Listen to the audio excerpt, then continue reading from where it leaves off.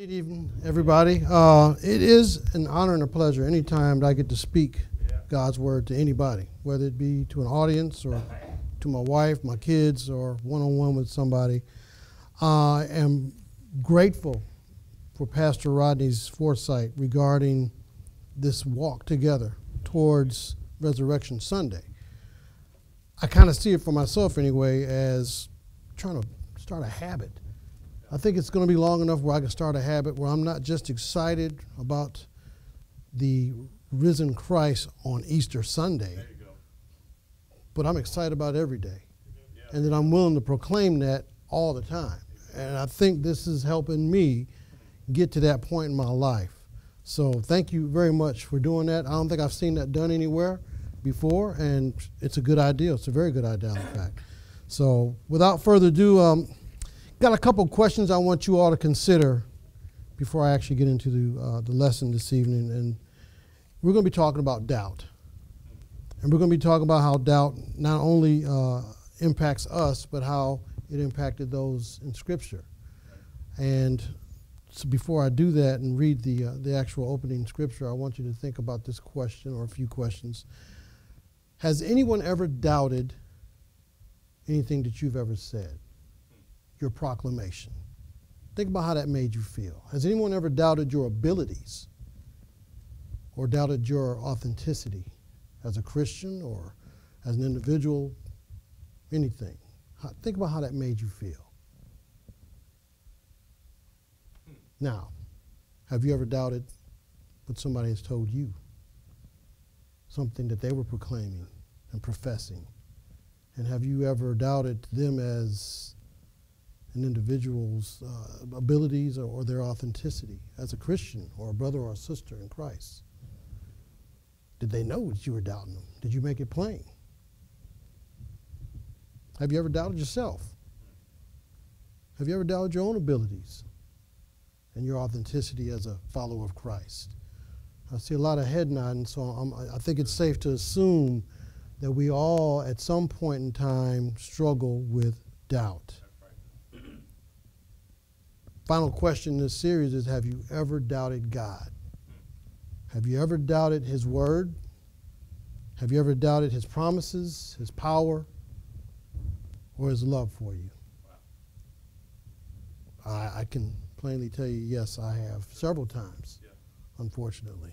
And we're going to talk a little more about that tonight.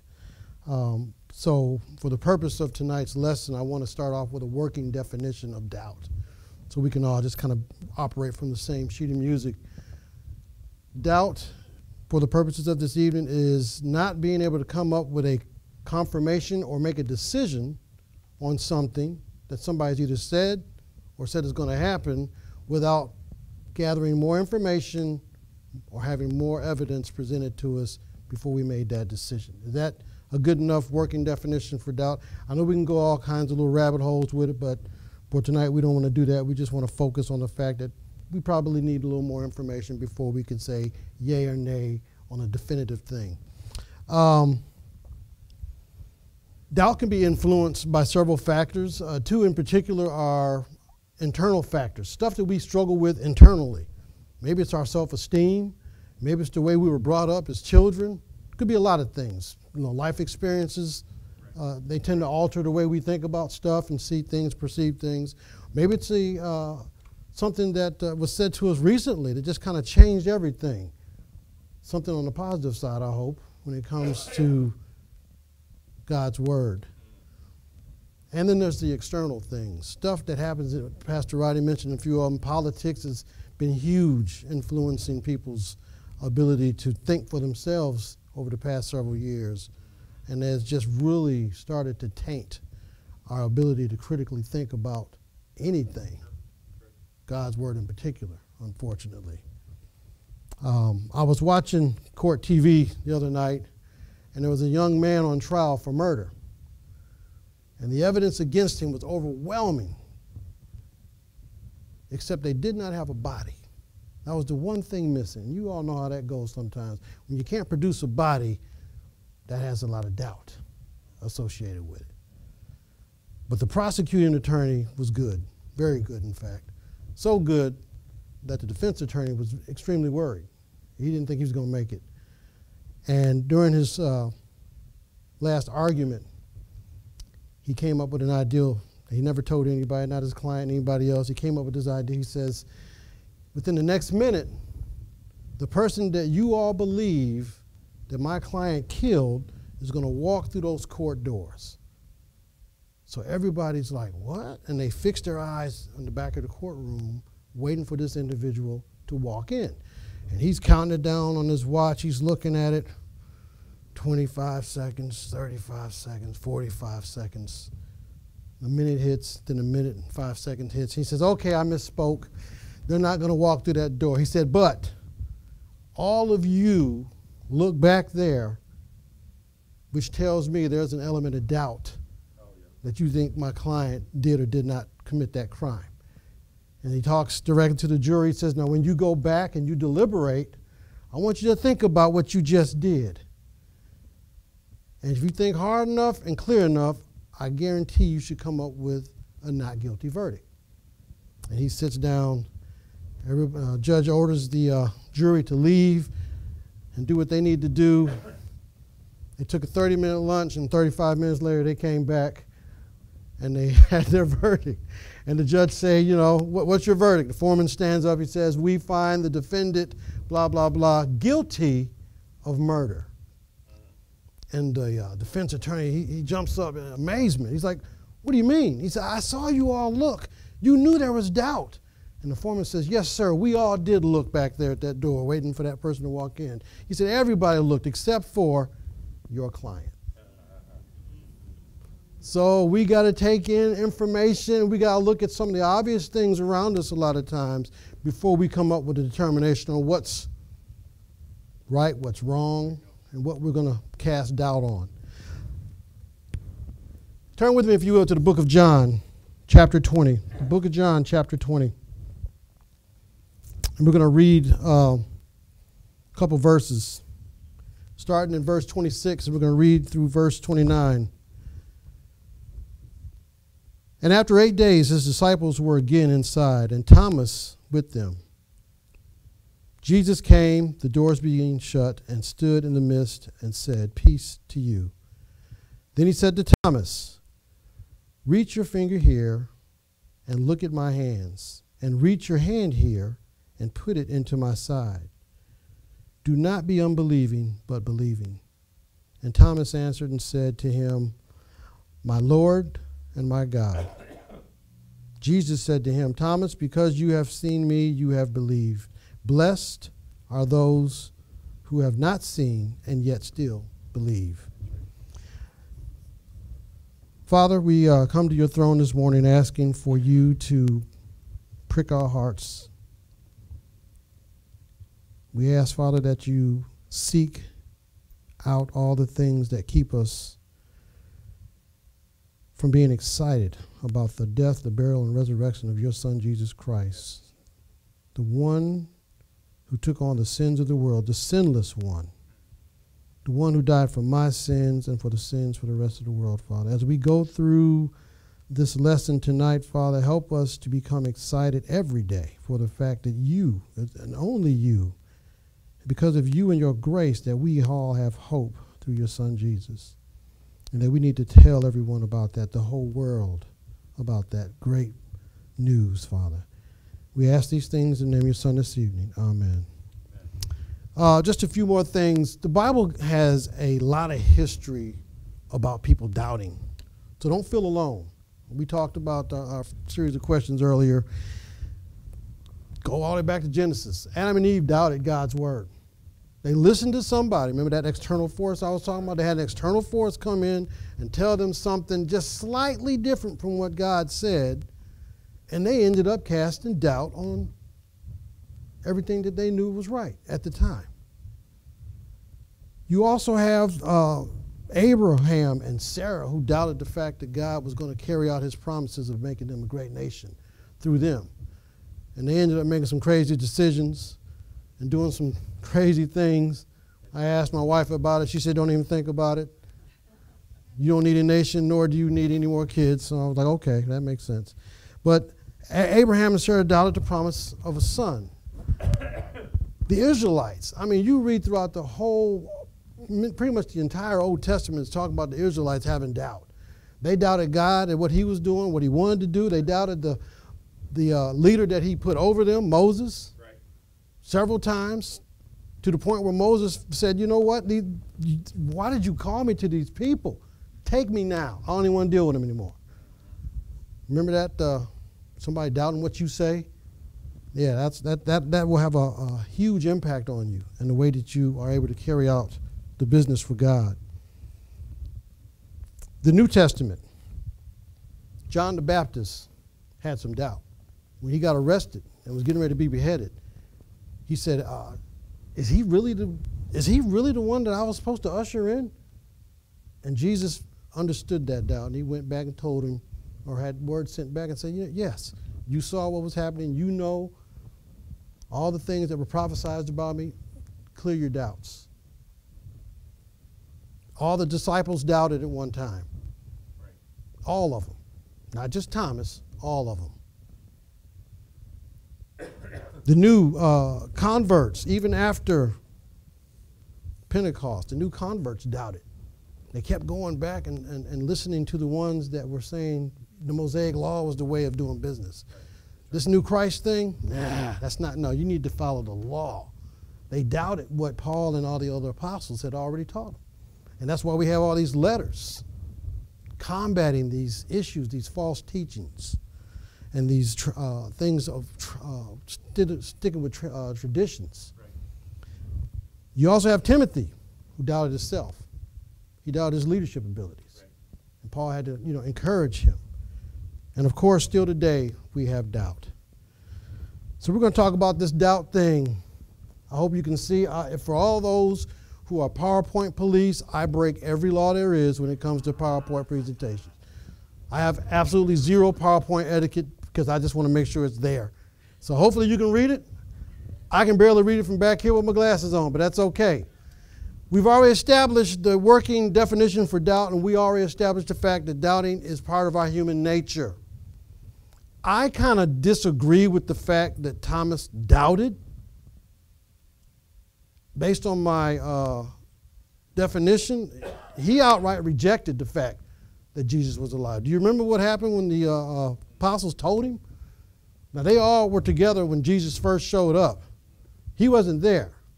So the, uh, when they told him, they, they proclaimed the risen Christ, he was like, Until I see it, I will not believe it. So he rejected. He didn't even doubt. He didn't say, All right, give me some more information. Now, what happened? Talk to me. He, he didn't, he didn't say that. He said, I, am not going to believe it until I see it. Don't play me.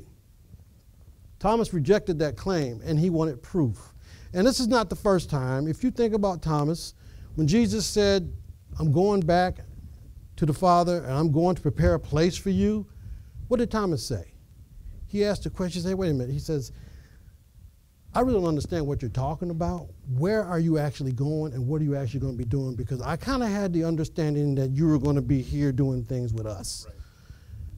And Jesus says, No. Where I'm going, believe me, you need me go there. You just sit back and do what you need to be, do- uh, need to be done, and everything will work out fine.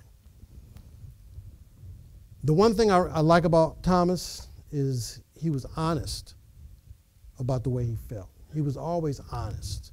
He didn't try to play games with anybody. If I, if I don't know, I don't know. I'm not going to act like I know. I, am going to ask you.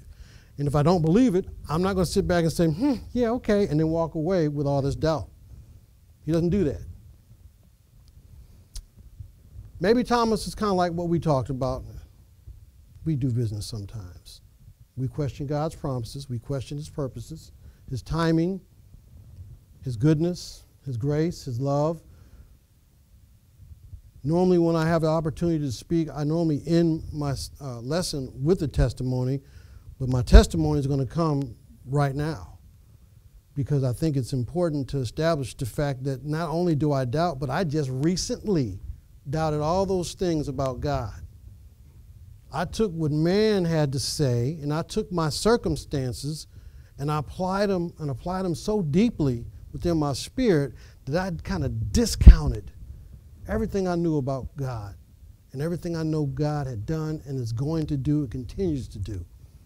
And you, most of you already know my diagnosis with the leg and the recent uh, spot on my lung that they found, and the recent uh, VA doctor said, you know, you, got bleed, blood in your urine, bladder cancer. I mean, that's the first thing out of his mouth.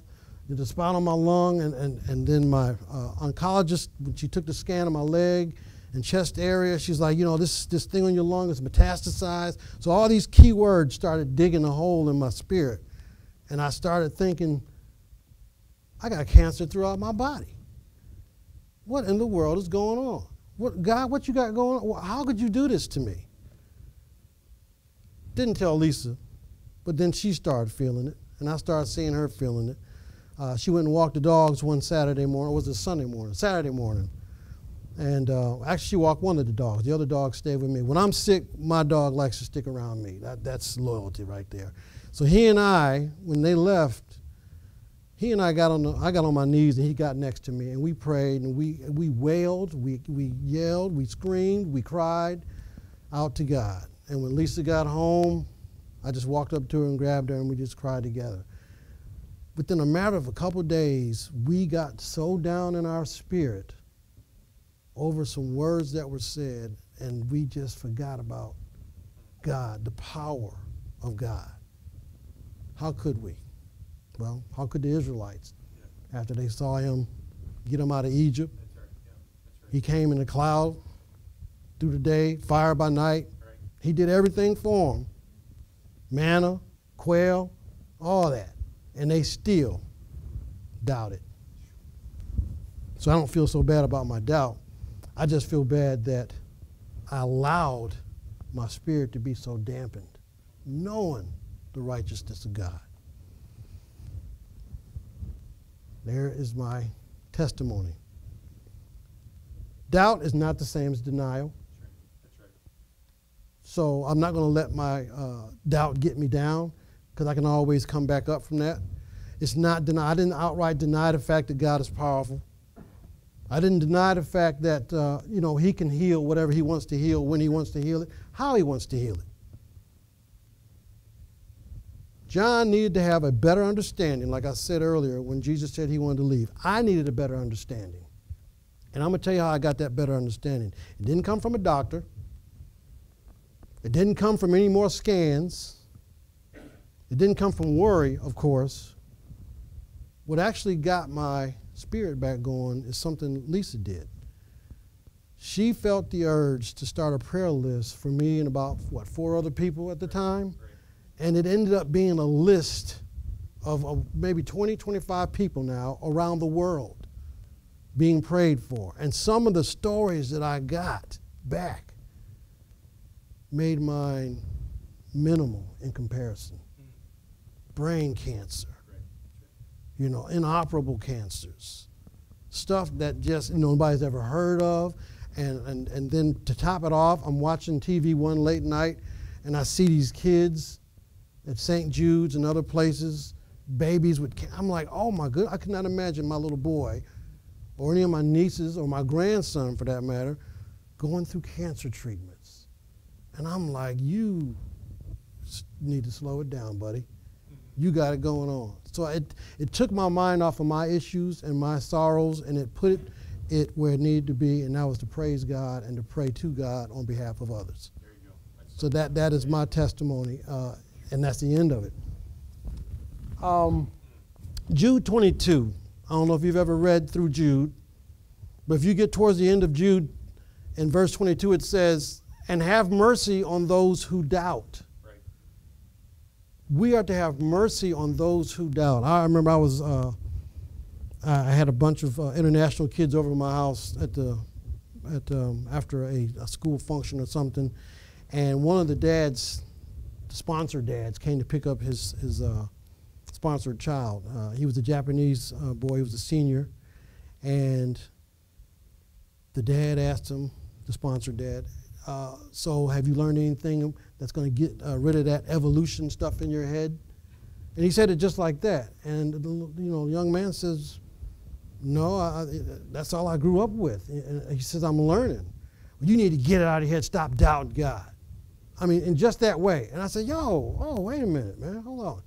I said, this guy's been taught evolution for 18 years of his life. That's all he's ever been taught. Three months here with us is not going to change that. At least not the way you want it to change. It can change, but we gotta we gotta do it the right way.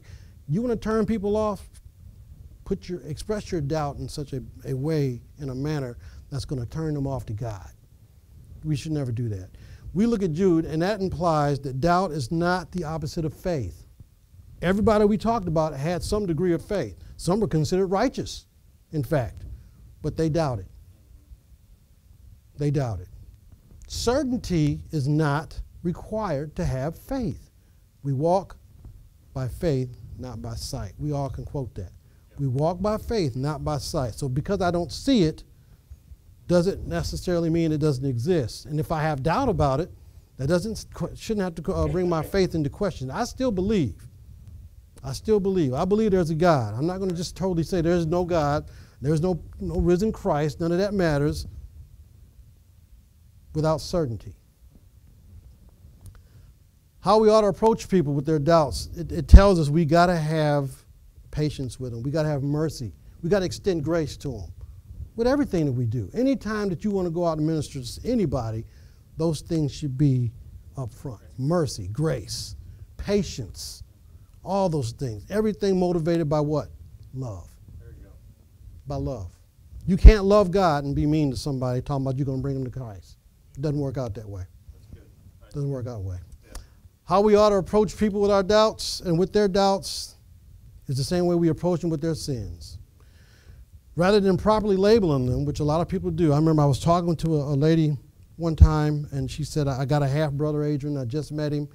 How old was she? Like 75 at the time. And she says, I went to visit him and I wanted to minister to him. She says, but I can't. I said, well, why not? He curses way too much. I said, what? Not surprised that she said it. I'm surprised that she used it as an excuse not to minister. She didn't even want to go see him anymore. I said, uh, I'm not going to say her name, but I said, do you realize before I came to Christ, when it says curse like a sailor, my picture was there in dress blues. That was that's me. That was me. And I said the very people who got me to come to Christ or rededicate myself to Christ were the very ones the first thing they addressed was my mouth. They said, when you come around us, you don't do that. They set up a little box in my office. In fact, my, my nickname during that time frame in my Navy was, was ABM, Angry Black Man. That's what they called me because I was mad at everybody, mad at everything. And they said, when you come in this office, if you say anything out of sorts, dollar. Well, my wife hates for me to give away money, and I hate to give away money, so guess what I didn't do when I walked in that office? Curse. And that started me thinking. And over time, I cursed less and less and less until it just went away. Because somebody took the time to address my bad mouth. And it helped a lot of other things. My anger came down. A lot of stuff transitioned when people take the time to work and disciple you. You got to come alongside people when you want to disciple. You can't just say, I want you to be a good Christian and walk off.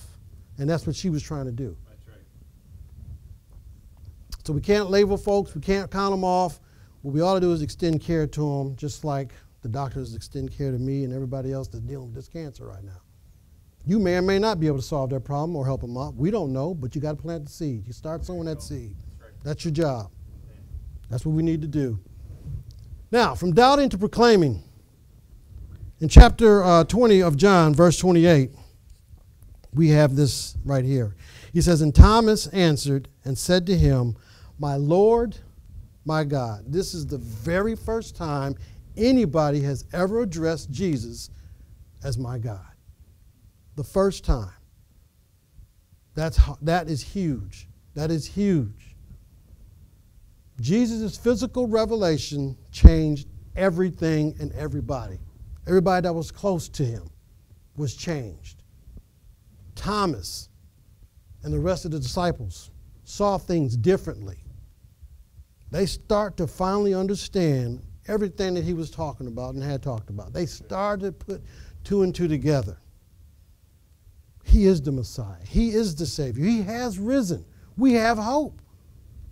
We know how to live the resurrected life. Now let's go out and proclaim it to everybody else. They understood their mission now a lot better than when he first told them, go out and preach the gospel to all the world. And it also says that some of them doubted. Even after that, some of them doubted. But now they're starting to get a better understanding. I love this part because in verse 29, Jesus also says to him, Thomas, because you have seen me, you have believed. He was able to see him physically. We haven't. We, haven't, we didn't get that opportunity. Right. But that's okay. It says, Blessed are those who have not seen me and yet still believe. We are that. And you know, Jesus prayed for all of us. He prayed for his disciples. He prayed for all future believers, which we were a part of that. And those prayers have been answered in so many ways by so many people that you and I have all went out and touched and talked to and worked with and discipled and prayed for. Those prayers have been answered. But we got a lot more work to do, people. Right. We got a lot more souls that need to be saved. And I got a, another friend of mine who is just, every time I talk to her, every time I talk to her, she gets on the subject of immigration. Every time. And I'm like, why are you so bent up on this immigration thing? I said, first of all, America's not the only one that has an immigration problem. This is a global issue. Uh, in fact, Britain just passed a law that says we can't take anymore. And the citizens were outraged. So the prime minister now is starting to work with France and other nations in Europe to try to come up with a, way to deal with immigration without just saying, okay, just stay out there in the water and die. Uh, and I respect that. I respect that. But what I did tell, I said, you know, I'm not saying that it's okay that everybody just floods into America. That's not what I'm saying. But as a Christian, I am more concerned with their soul for eternity than where they reside temporarily. America's is going to dissolve one day. This is all going to go away one day. And I'm not so comfortable with America that I'm like, that's the only thing that I care about right now when I've got people who need their souls saved. That's right. That's. That's my that's my biggest thing. So she didn't have anything to say about it, but I don't think I convinced her. We'll find out the next conversation and I'll update you how she feels. Um,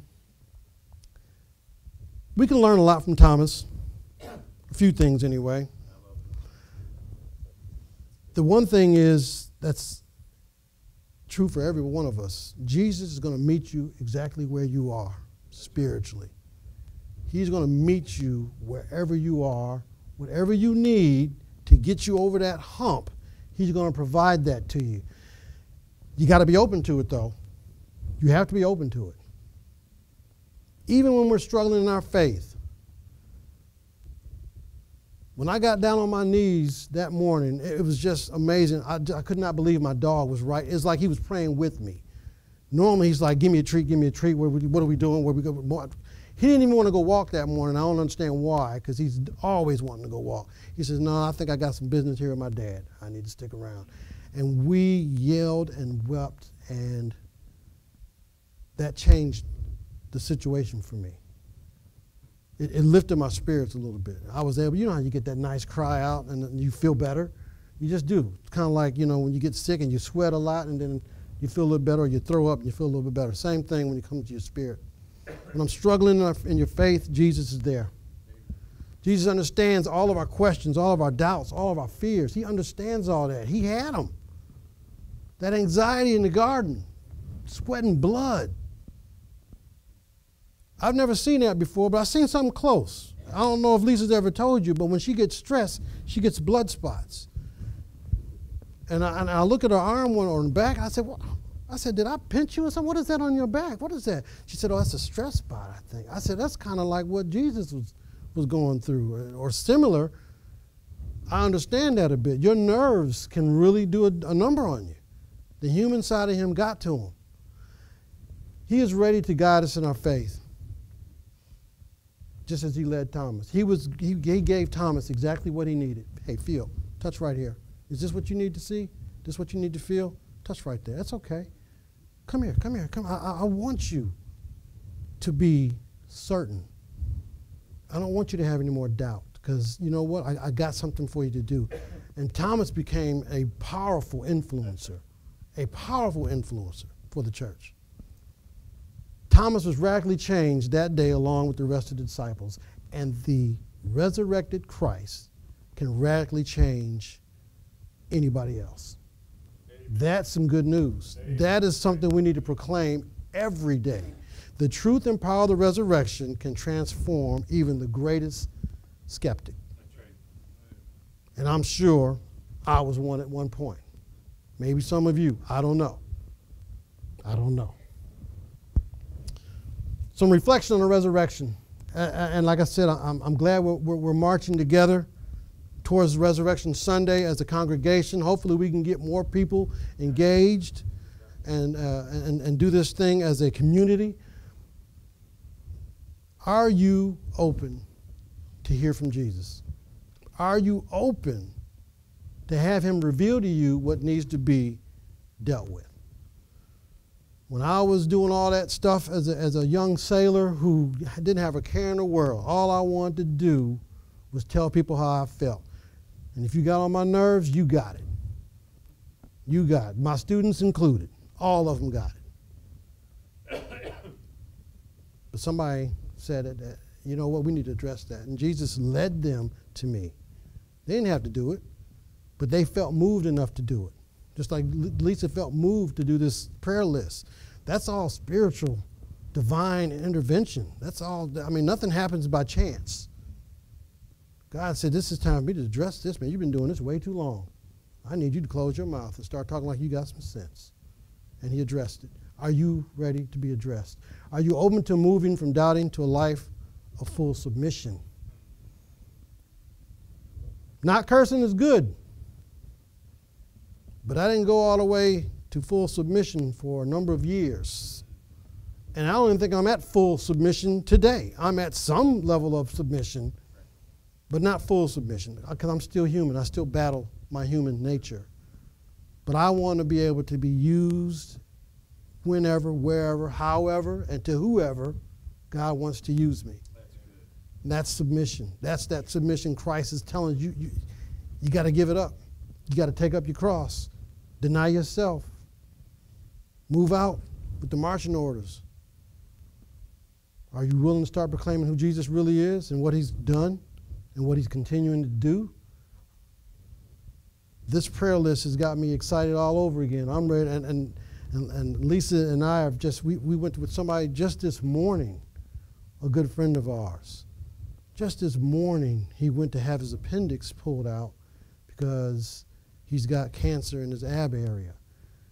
We met him there at 5:30. We went back to uh, get him or see how he was doing at what 1:30 I think it was 1:30. And they said, he wasn't there. I said, what do you mean he's not there? We, we left him here. He's got to be here. And they said, no, sir, he's been discharged. I said, what? I said, I didn't know he took your appendix out and then sent you home an hour later. I said, man, medicine's good. Little did I know, we went to his house and his wife came out teary eyed. She says they couldn't remove his appendix because the cancer was so aggressive and so vast in his abdomen area, it started attaching to other organs. They would have to start removing his bowels and intestines and everything else, and they weren't prepared to do that. So they got a sample of his tissue and they sent it away. Heartbreaking. Heartbreaking. But what he told me, he says, Adrian, he said, no matter what, I win. There you go. No matter what, I win. Right. I said, You're right. You're, you're, you're so right. He said, I'm going to be with the Lord if He calls me home. He said, if I stay here, okay, but if not, I win regardless. The Lord wants to meet you today and address all of your questions and all of your doubts, whatever they are, because we all got them. We have already established that. We got some doubts somewhere. At some point, we're going to have to have those answered for us, or we should at least try. Investigate. This is the best place to go, right here. This, this is where I go now. If I got a question about anything, the last thing I'm going to do is ask somebody else. I'm going here first. This is where I'm going for anything. How do I deal with this, that, or the other? And I go to the Bible because it's basic instructions before leaving life is what I got. And I used to do prison ministry, and I met this guy who was out of prison. He says, being incarcerated brought me life. That was his way of using it. I was like, oh, I like that. That's good. That's real good. Will God's word transform you? Will he change you from a skeptic to an evangelist? That's the question we need to ask ourselves every single day, not just on Resurrection Sunday, but every single. When you get up in the morning, where am I going to evangelize at? Who am I going to evangelize to? And what am I'm going to evangelize about? That's right. Where am I going to sow some seed?